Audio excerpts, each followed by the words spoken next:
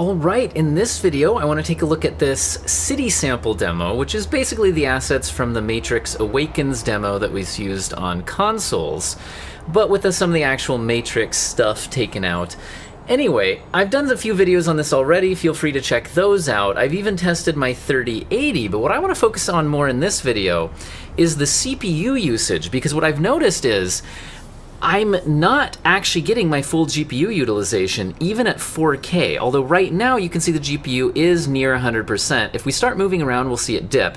Right now I want this, uh, you know, standing still because I'm also going to test out some side-by-sides of the temporal resolution scaler here. So right now, this is native 4K on the RTX 3080, but look at all those CPU cores. One thing I'm interested in is just how many CPU threads this thing is using. I have a 5950X. This is a 16 core, 32 thread CPU. Also, I have 32 gigabytes of RAM, and when I did my RX 6600 testing, we saw the RAM usage go way up as I started moving around and went further into the video. I'm curious if that's going to be repeatable. It kind of felt like a bit of a memory leak going on. So i am curious if we'll see that throughout this video as well. Now the RAM speeds and everything, I mean, you can check my uh, video description for more of my system specs. But it's a 3600 CL16, and so I mean, obviously there's faster RAM out there, and it's two 16 gigabyte sticks, but it's it's pretty decent. And then again, the 5950X 16 core 32 thread processor, and this is installed on a NVMe drive. It's a PCIe Gen 4. I think I've got it on my uh, Samsung 980 Pro. So everything here is pretty good, but you'll see the GPU utilization here dipping into the 70% range, even at native 4K. Currently we're in the mid 80s. So what's going on here? Why am I not GPU limited? Or in other words, actually, why can't I get more frames? Well, if we look at all those CPU threads, it's hard to see, but some of them will bounce up into the 80% range. So I think it's definitely possible that the there's a single thread that's getting overtaxed here and limiting the overall performance uh, because it's it could be that thread being the limiting factor. Although it is also possible there's something else going on here. It could be a limitation of the um, of the asset streaming because again, direct storage isn't a thing quite yet here. So, well, what consoles could utilize extremely fast streaming of assets. Um, even though I have a PCIe Gen 4 SSD, I wonder if the fact that it, you know that's not fully optimized with direct storage yet, that that could be causing some issues. Now, as I as I fly around the city here, I'm seeing the RAM get up to 12 gigabytes, so that that's still not too crazy. And again, that GPU utilization is just nowhere near maxed out. So this is really interesting. Now I'm going to go ahead and drop the render resolution scale so we can even push the load further onto the CPU rather than the GPU, although it seems like even at 4K here, we're already pretty limited. Alright, this is now at a 67% render resolution scale in the config file, meaning it's basically 1440p. Two thirds of 2160 is 1440. That's actually less total pixels, but the, the way resolution scalers usually work is they're talking about the, uh, the side length dimension, not the total area of pixels. Anyway, we can see now that standing still, things still look extremely close to native 4K. I think the most obvious difference is objects that are in motion. So like the people in the distance in motion and the vehicles in the distance in motion certainly look a little bit more ghosted and blurry than they did at native 4K. But honestly, I've got to say, for an upscaler that isn't like DLSS, where it's requiring certain hardware and things, um, this is looking extremely impressive, especially at the objects that are standing still. Like the distant signs, I can still pretty much read the text, which I don't think I could do on a native 1440p image here. But let's see what happens once again as we start flying around. Um, oops, I uh, dropped back to the ground here. what are my controls? Here we go. So let's fly around the city. once again, once I'm flying around in motion here, it's really looking like the GPU load isn't usually the limiting factor. It, it does pop up to be the limiting factor at certain points, I think. Um, but yeah, we're seeing the GPU utilization bounce all over the place. And again, it's it's hard to track it, but the certain threads of the processor do seem to be go up into the 70 and 80% range. So so I really am wondering if that is the limiting factor here. Now, I'm honestly not too worried about this if you're thinking about like future Unreal Engine 5 games, because this demo has so much traffic and pedestrians. I think there's a lot of simulation happening here as kind of a way to show off what they can simulate. Now, if a console was doing this and targeting 30 FPS, the way that this demo did on consoles, then I think this isn't really an issue because you can see that my 5950X, sure, that's way more powerful than what's in the consoles. Well, we're getting way better than 30 FPS, which is what the consoles were doing. So if that's what they were targeting this at, I think they were pushing the the very limits of what the consoles could simulate. I also don't know if the exact settings that this is using are identical to the settings that the consoles used for the Matrix Awakens demo. So those definitely there could be some differences there. Um, yeah, I think actual games that we get, like if we get GTA 6 on Unreal Engine 5, first of all, that's gonna be years down the road. So CPUs and GPUs that are modern at the time that games that are just starting development now come into effect, I'm gonna be a lot less concerned about that because you know my 5950X is going to be out of date by then, guys.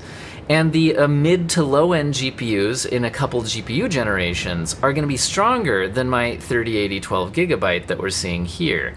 And hopefully by then, you know, direct storage on NVMEs and stuff is pretty standard as well. So I'm hoping we'll see all of those uh, limiting factors a little more taken into account. Now, we can go down to a 50% res scale just to kind of test that out, mostly for the image quality. But I've got to say, this, this upscale from 1440p, even in motion, I know it's not perfect, but this is quite good, I think. There's definitely some ghosting and blurring on motion and things in the distance, but it's close enough to native 4K that I'm not... Uh, now, I'm not disappointed in TSR. I think that's pretty cool. Let's take out take a look at 50% scaling. All right, here we are now at a 50% resolution scale. So this is 1080p upscaled to 4K. I can definitely see some more ghosting and blurring into the uh, objects that are especially in motion, like the cars driving towards us in the distance, the pedestrians in the distance. You can probably hear my kids running around upstairs right now, but hey, you know, it's Hobby Channel. When they're playing happily, I have time to film a quick video and edit it again when I have time. Um, so we can definitely see the GPU utilization is a lot lower here. So it's absolutely, you know, taking the load off of the GPU, lowering that render resolution. I can still read the distant signs, so at least standing still, this render scaler does quite good. And while I don't think this looks quite as good as DLSS upscaling from 1080p, I do think that this is quite impressive uh, for what it is. This looks way better than a native 1080p image on my 4K screen, I'll tell you that right now. Okay, so as we now fly around, we are now not even close to GPU limited, but we're still dropping into the 30 FPS and 40 FPS ranges as we move around the city. So yeah, there's something, uh, something else is a huge limit on what's going on here. So last thing that we could do is play around with actually changing the graphics settings and see if some of the uh, setting options in the game by lowering them could relieve some of this um, CPU or asset streaming or whatever it is issue to see if we can actually hit 60 FPS in this game. So I'm gonna pop back out and we're gonna try turning down some of the other settings. Okay, so this is still at a 50% resolution scale, but I've also changed all of the available graphic settings down to 2. They default to 3.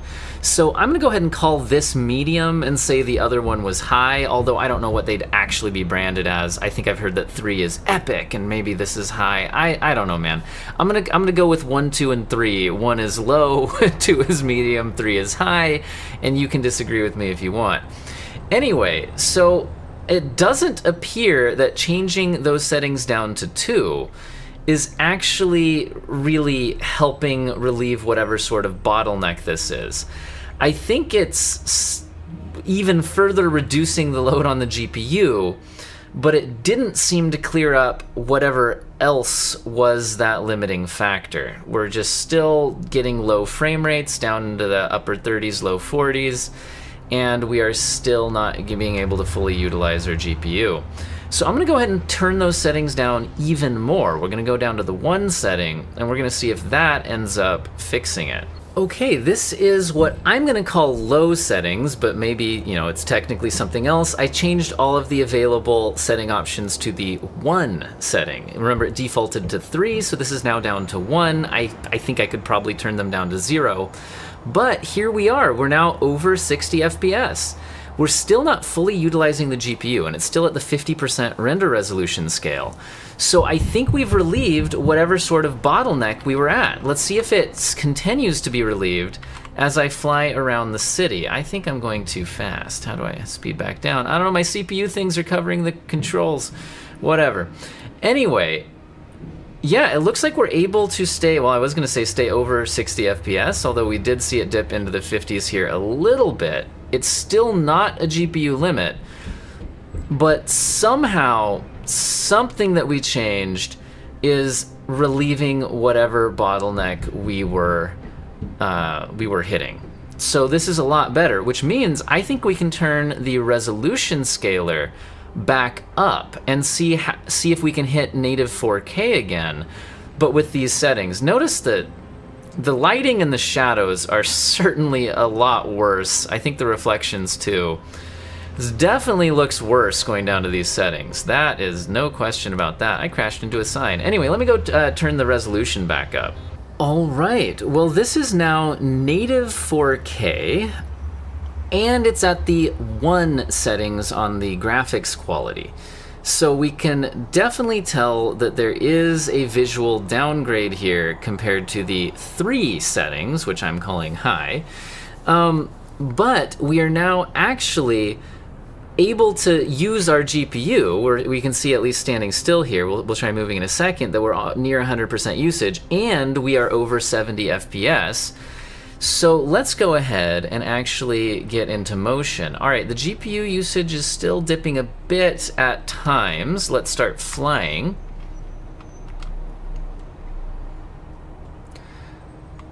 Okay. So it is looking possible to hit, you know, around, we're dipping into the 50s here, but once again, I don't think it's the 4K resolution.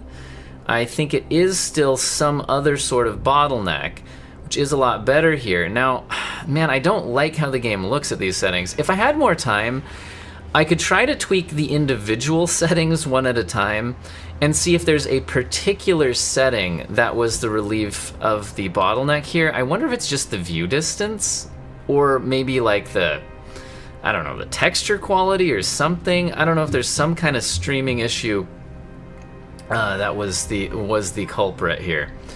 But I think this is about all I have time for in this video. We are playing at 4K on the 3080 at, you know, at least averaging 60 FPS with uh, many times being over, but we certainly saw some dips under. And can I drive a bus? I don't know, guys. oh, it parked me down here. Let's steal a car, run around. This is Grand Theft Auto, right? Okay. Yeah, so yeah, I'm certainly interested to see what actual Unreal Engine 5 games end up looking like and how they end up performing. Oops, broke my car. Um, but it certainly seems like it's scalable. Very scalable on the graphics settings. And uh, yeah, I think whatever other kind of limiting factors going on here, it certainly looks like it can be tweaked in the settings to be optimized a little bit. So I think real games we don't have too much to worry about. And overall, I'm still very excited about the Unreal Engine 5 and the kinds of games we'll get out of this thing. I hope all of you have an excellent day.